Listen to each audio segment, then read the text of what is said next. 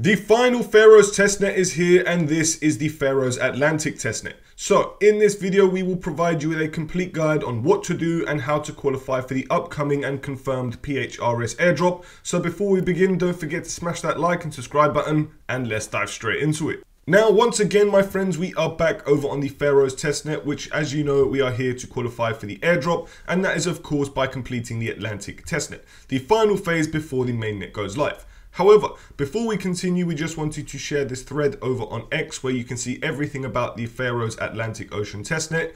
Down below, my friends, you can see everything about it. So what's new, POS and tokenomics, modular architecture, X, Y, and Z, all of the technology. And you can see here, we've got a new social task, which is the Creators Arena Wave 2, which will only be for a few people. However, you've also got on-chain tasks, which will show you how to do.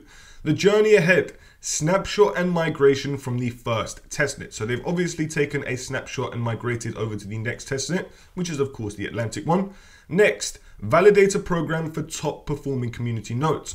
New ecosystem incentives and partner integrations, two testnet continuity for smooth transition, and mainnet launch on track Q1 2026. So guys, it could very well happen within the next two to five months, and that is not that long away. So we want to maximize on our transactions, volume, and activity on the Pharos network before the airdrop goes live.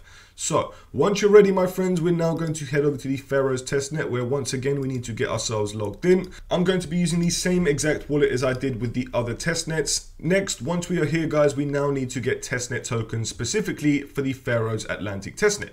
So how do we do so? Well, if we scroll down, we can see here that we've got a new section where we are going to claim testnet tokens. Again, we are able to claim these tokens every few hours. This time we can claim them every 12 hours in comparison to the last one, which was every 24 hours. This time the tokens look a lot less, so we only get 0.01. However, once you're ready to get your tokens, you're going to click I'm not a robot. Fantastic, going to get them now. As you can see straight away, you would have received them.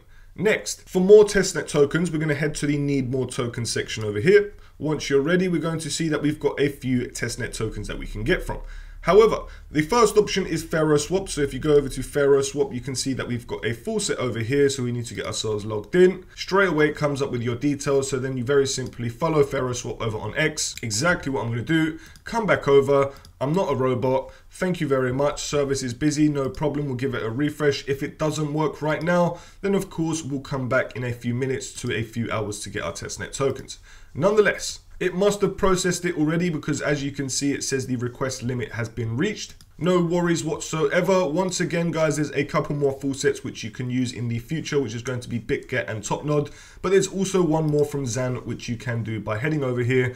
Next, all you're going to do is get yourselves logged in. After that, you'll be able to choose the network, but it automatically pops up. Next, I'm going to grab my wallet address, which you can see up here. I'm now going to take it down over here and paste it. Boom. Remember as well, guys, that this is the Atlantic testnet, not the old testnet, which we can't use anymore.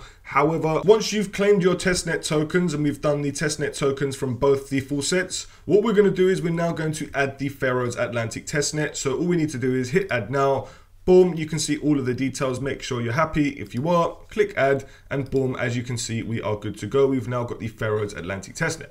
From here, we are now going to move over to the experience section. And friends, once again, you need to check yourself in. As you can see, I've done two days out of these seven days of this week. And now we've also got ourselves a new level to unlock, which is level six. In the previous season of season two, the maximum level was level five. But now with level six, we want to, of course, get the most XP possible to get the biggest airdrop possible. So from here, my friends, now that we've got the network set up, now that we've got our testnet tokens, we can see the first quest that we need to complete.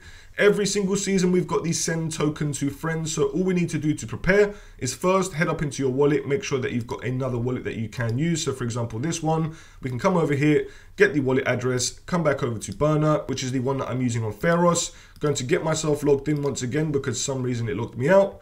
Down below, we're now going to go to send token to friends. So if we hit send, as you can see, we've now got our 0.02 testnet tokens, which we got earlier. However, if you just want to choose a minuscule amount, it could very well be 0.00001 Pharos token. You can do so. It just requires any transaction. It doesn't matter how much the volume is.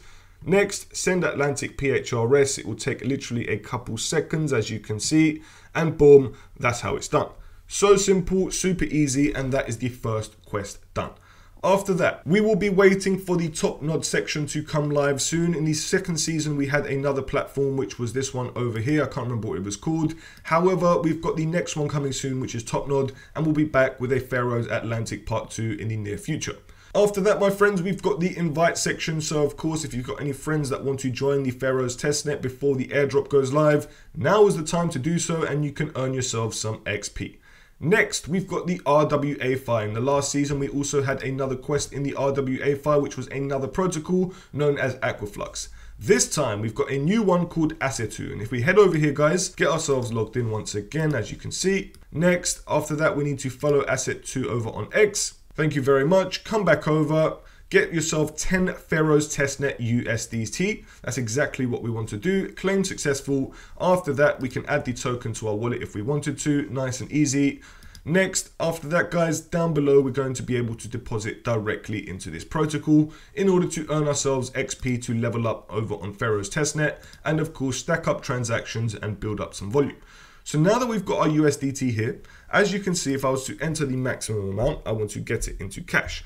Cash Plus is a one-to-one -one asset-backed team collateralized by the CMS USD Money Market Fund, which invests in high-quality, short-term USD instruments. It offers both individual and institutional investors instant stablecoin liquidity combined with low-risk yields that track money market rates. Fantastic. So once you're ready guys, we're going to confirm. I'm not too happy with this website because every time I scroll down a little bit, it pulls me back up or pulls me down to the next section. Very annoying, but I'm going to continue. After this, next you can see that we need to subscribe. So we're going to get 10 cash plus. Remember guys, this is completely free because it is a test network and there is no real monetary value.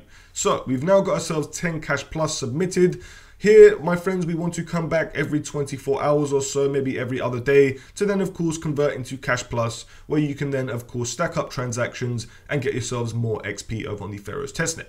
So, Guys, that is very simply that platform done. We've completely done it already. You can always redeem your Cash Plus into USDT if you wanted to, but what is the point? Next, my friends, we've got the last on-chain task right now, and that is by collecting NFTs over on Grandline. Now, it says it's coming soon over here. However, I've gone to the Grandline website itself, and you can see over on the Testnet Atlantic badge that we've got a section here of its own.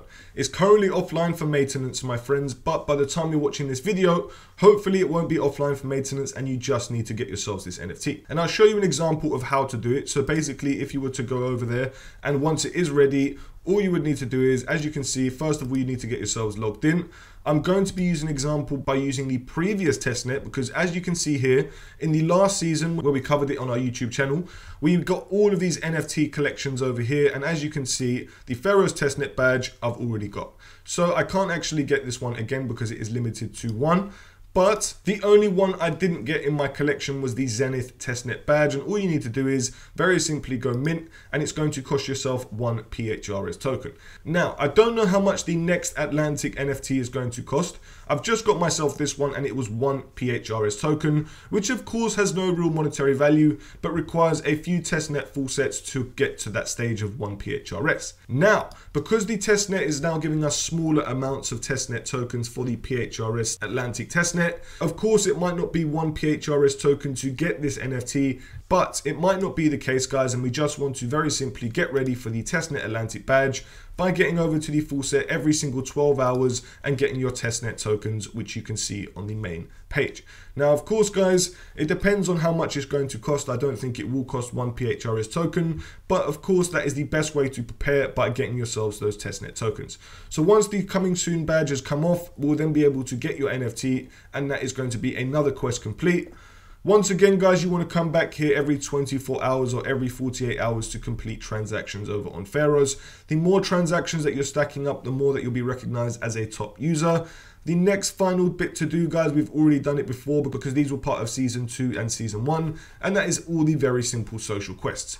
Follow, like, retweet, reply, join the Discord. It's all simple and all self-explanatory, and you can do it all yourself if you haven't got all these green ticks. Myself, I do. Next, guys, on your own, you can explore the ecosystem on your own here as well. So in the future, I'm sure for Atlantic Testnet, we're going to have more quests where it will tie in with all of these protocols here within their ecosystem. I'm very excited for this airdrop, guys. It seems to be very smooth, the experience. They seem to be very community incentivized, and that is exactly what we want to see. I don't think this will be the biggest airdrop in the world, but it could very well be a few digits. Who knows? And that's exactly what we're aiming for.